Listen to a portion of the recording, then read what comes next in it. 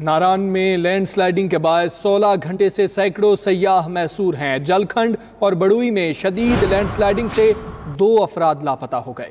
Assistant commissioner Balakot کا کہنا ہے کہ میسورین تک خوراک پہنچانا اولین ترجیح ہے۔ آپ کو بتا رہی ہیں ناران میں لینڈ سلائیڈنگ کے باعث سولہ گھنٹے سے سینکڑوں سیاح محصور ہو کر رہ گئے ہیں۔ جلکھنڈ اور بڑوئی میں شدید لینڈ سلائیڈنگ ہوئی، جس کے باعث دو افراد لاپتہ بھی ہو گئے ہیں۔ جبکہ اسسٹنٹ کمشنر بالاکوٹ کا کہنا ہے کہ میسورین تک خوراک پہنچانا اولین ترجیح ہے۔ اسی پر بات کریں گے ضلع ناظم مانسہرہ سردار سید غلام صاحب ہمارے ساتھ موجود ہیں۔ سردار صاحب، بہت شکریہ آپ کے وقت کا۔ فرمائیے گا اس حوالے سے کہ وہاں پر سولہ گھنٹے ہو چکے، سینکڑوں سیاح محصور ہیں۔ بتائیے گا، ان کو بچانے کے لیے، سیاحوں کو بچانے کے لیے کس طریقے سے اقدامات کیے جا رہے ہیں؟ یہ علاقہ کیسا ہے؟ اور اس حوالے سے بتائیے گا، اگر ہیلی کاپٹر نہ ہو تو کسی طور سے نہیں بچایا جا سکتا، سیاحوں کو یہاں سے ریسکیو نہیں کیا جا سکتا۔ جی یہ مانسیرہ سے ناران جلکھٹ روڈ ہے، اس پہ یہ واقعہ پیش آیا ہے۔ کل تقریباً تین اور پانچ بجے کے درمیان۔ اور یہ شدید بارشوں کی وجہ سے آسمانی بجلی کی وجہ سے یہ واقعہ پیش آیا ہے۔ اور شدید لینڈ سلائڈنگ ہوئی ہے۔ اور اس کے بعد انتظامیہ نے فوری طور پر ڈپٹی کمشنر مانسیرا نے ایسی بالا کوٹ کو موقع پر بھیجا۔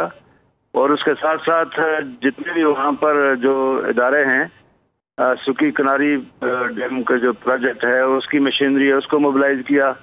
کے ڈی اے کو ہدایات کی ہیں اور جو اویلیبل مشینری تھی اس کو موبلائز کیا ہے این ایچ اے کو کہا گیا ہے۔ اور اسی طریقے سے لوکل جو ہوٹل ایسوسیشن جو ہے، وہ اس نے اپنی مدد آپ کے تحت وہاں پر اپنی مشینری مشینری موبلائز کر کے کام کا آغاز کر دیا ہے۔ لیکن ابھی تک مکمل طور پہ روڈ نہیں کھلی۔ اور اچھا اچھا سردار صاحب یہاں پر یہ کہیے گا کہ جس طرح سے آپ نے کہا کہ کام کا آغاز کر دیا گیا ہے کتنا وقت درکار ہوگا سیاحوں کو یہاں سے نکالنے کے لیے ریسکیو کرنے کے لیے؟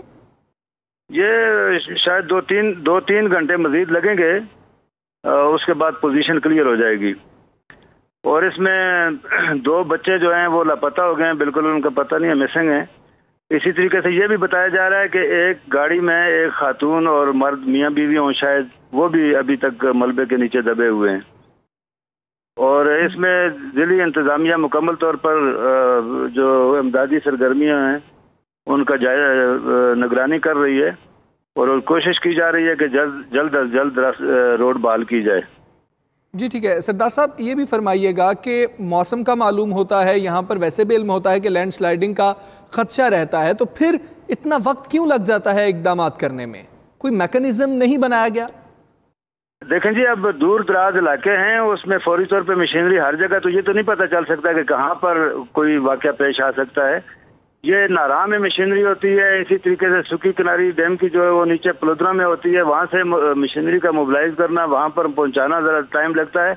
تو ہم این ایچ اے کی ضرور اس میں تھوڑی سی لاپرواہی ہے۔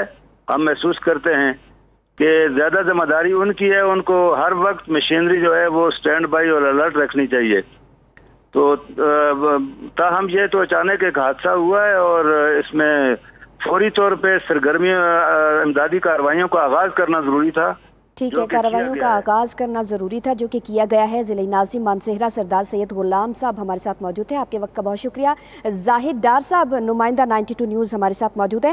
زاہد بتائیے گا یہ بتایا جا رہا ہے کہ دو افراد لاپتہ ہیں دو بچے بھی لاپتہ ہیں۔ تو جو ملبے تلے دبے افراد ہیں کتنے افراد کے دبے ہونے کا خدشہ ظاہر کیا جا رہا ہے؟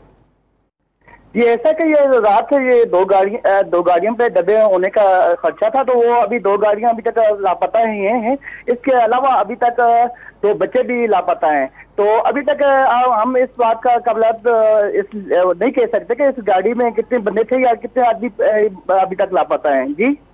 جی یہ بتائیے گا کہ ضلع ناظم مانسہرہ ہمارے ساتھ موجود تھے۔ وہ کہہ رہے تھے کہ دو سے تین گھنٹے لگیں گے۔ آپ وہاں پر دیکھ رہے ہیں کس طریقے کے اقدامات کیے جا رہے ہیں، کتنا وقت لگ سکتا ہے؟ آپ ادھر موجود ہیں، کیا دیکھ رہے ہیں؟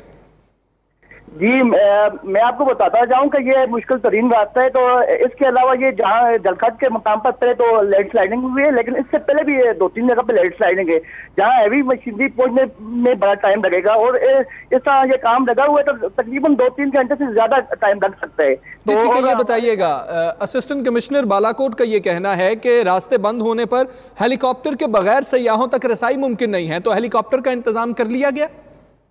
جی ابھی تک ڈی سی منسیا سے ابھی تک ہماری بات نہیں ہوئی لیکن ایسا ہے کہ اے سی صاحب نے ڈی سی منسیا سے رابطہ کر لیا کہ جب بھی ہمیں ہیلی کاپٹر کی ضرورت پڑی تو آپ ہمیں بھیج دیں تاکہ ہم پھنسے ہوئے سیاح کو نکالا جائے نکال لیں۔ جی؟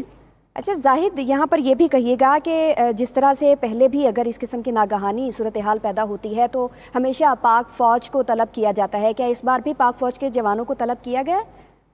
جی امید جی، ٹھیک ہے